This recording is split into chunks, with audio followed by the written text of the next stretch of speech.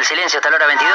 Ahí estamos compartiendo la música de Hernán Rodríguez y la cumbia sigue, lo tenemos en comunicación telefónica a Hernán para charlar un poquito de este proyecto que se viene con todo. ¿De cómo va Hernán? Muy buenas noches para vos, Emiliano, aquí de Radio Dolores te saluda. ¿Cómo anda toda la gente de Dolores? Para toda la gente hermosa que está escuchando como siempre, les mando un abrazo gigante y muy feliz de estar hablando con, con todos ustedes. Bueno, para nosotros también es una, es una felicidad porque bueno, charlamos hace un tiempito y bueno, también te quiero agradecer que, que tuviste la gentileza nuevamente de, de, volver a atendernos. Hoy estamos en otra, en otra emisora y el público se renueva, como, como dice Mirta, así que bueno, un lujazo volver a, a comunicarnos con vos.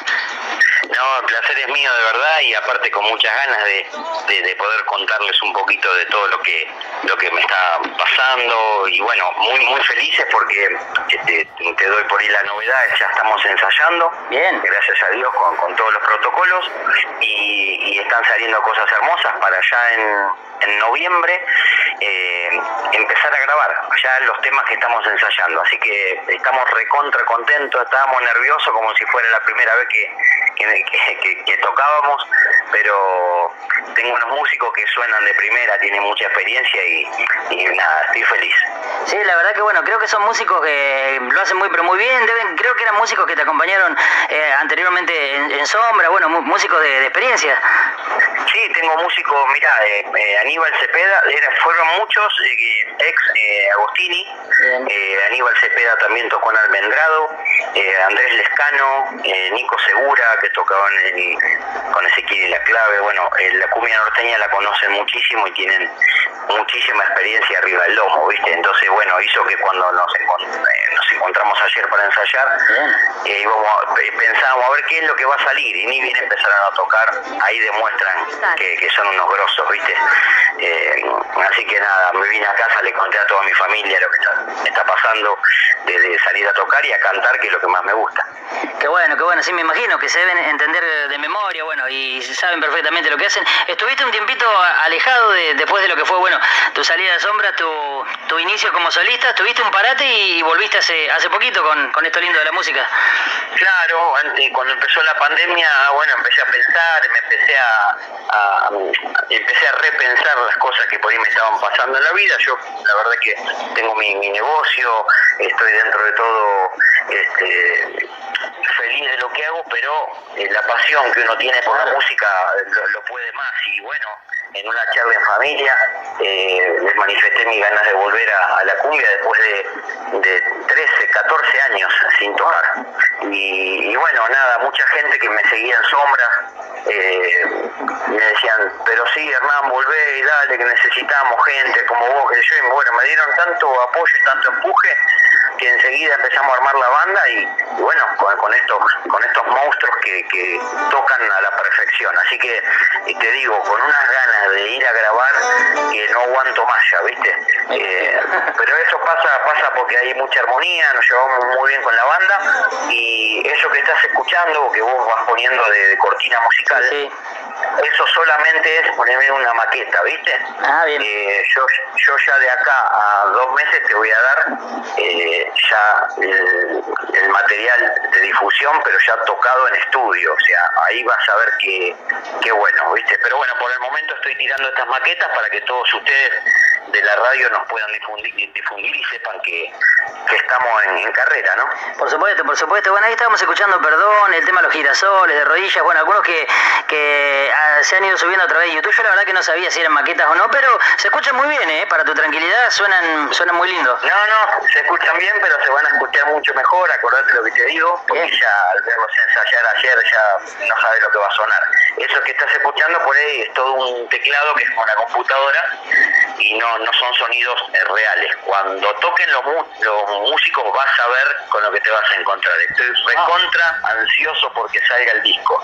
Qué expectativa, qué expectativa. La verdad que me, me, imagino, bueno, te deseamos lo mejor porque notamos que sos una gran persona, que le pones mucho mucho empeño a todo esto, mucho profesionalismo y bueno, no tengo duda que, que van a explotar esos temas, que, que te va muy bien y bueno, tenés muchos seguidores en Instagram también que siempre te acompañan. Sí, la verdad que, te, mirá, yo mucho a la red social, después de haber dejado de cantar, no le mucha bolilla no le di. Y después, bueno, me uní de vuelta a, Facebook y a Instagram.